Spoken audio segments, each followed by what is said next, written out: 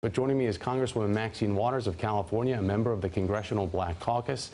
Uh, Congresswoman, I think you've seen this video in full, and I just want to get your reaction to it.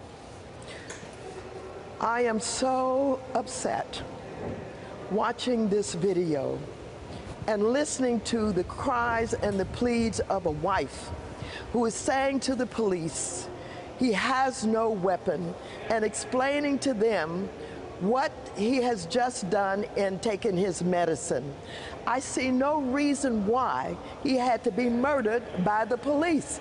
As a matter of fact, no police was in danger. He was not threatening anybody.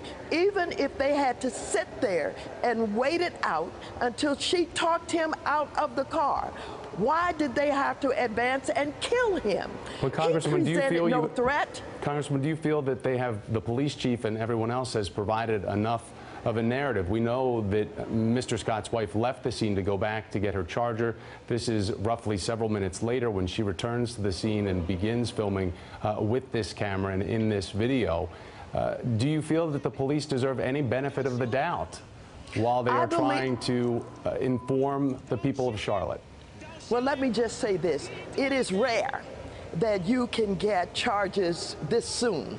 And if a police chief believes that it is absolutely credible and necessary to make the charges, I'm with the police chief. You don't get this easily. And I think if the police have seen even more than we have seen, he has good reason by which to bring these charges. I'm looking at uh, what is being shown, what is being revealed. I see no reason why this man had to be murdered. None. Nobody's life was being threatened. The wife was pleading with them. She said he had no weapon.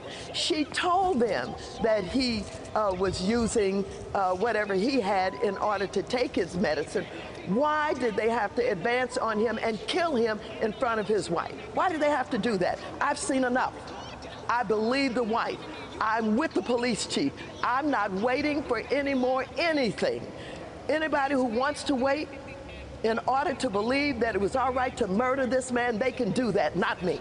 So, Congresswoman, we are expecting the governor of North Carolina, Pat McCrory, to hold a 2:30, uh, roughly around 2:30, this press briefing. We don't know if he's had access to see the video that was shot by Mrs. Scott.